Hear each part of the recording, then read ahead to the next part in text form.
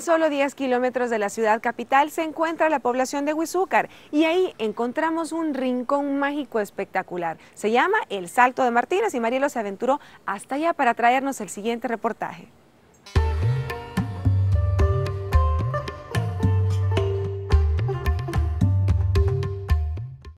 Si lo que necesita es encontrar un lugar exótico y natural, cualquier excusa es el pretexto perfecto para escapar a un rinconcito de nuestro querido El Salvador. Y es que existe un bello lugar ubicado en Huizúcar, con apenas 10 kilómetros de distancia desde San Salvador. El lugar es llamado El Salto de Martínez, pero para llegar tuvimos que dejar el vehículo y dedicarnos a caminar durante casi media hora, teniendo como punto de salida la iglesia del municipio dedicada a San Miguel Arcángel. Esta iglesia es, colonial, ¿verdad? También que ha sido...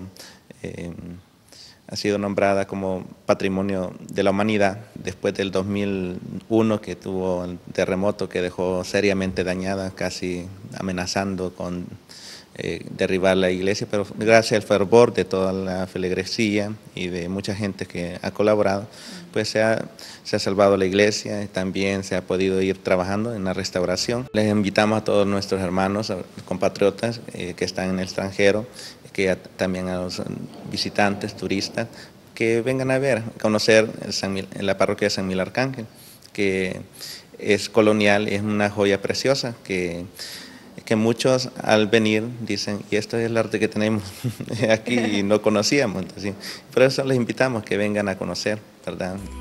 Huizúcar significa lugar en el camino de espinas en náhuatl, y con mucha razón, dada la irregularidad del terreno.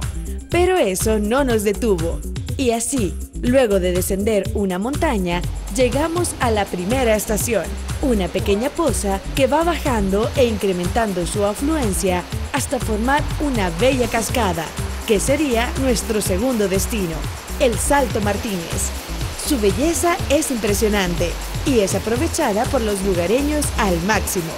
Durante el verano, usted puede disfrutar de un refrescante baño en el Salto Martínez, rodeado por supuesto de mucha vegetación.